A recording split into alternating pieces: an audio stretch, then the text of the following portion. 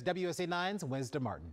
It is a true fan experience out here at Commanders Park for the hardcore Commanders fans who are excited about this upcoming season. And speaking of fans, this WUSA 9 fan is a really hot commodity out here. We've run out like three times. We run out like three times. So over here, I want to show you this because this is where you can scan this QR code and become a Commanders Insider.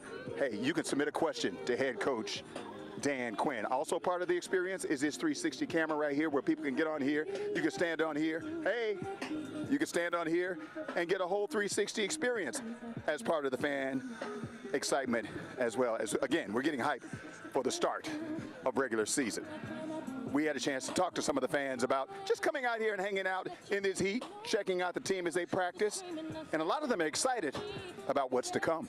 I think there's new leadership. I think it starts with new leadership. It'll cascade down. Things will evolve. It's already um, looking more positive, I think, than it has in the past. So we're very hopeful and very excited to be here. Mainly all these new faces on the team, a lot of big names have been hyped up for the last couple of months. So it's pretty hard to say no and not see what the team is getting ready to do.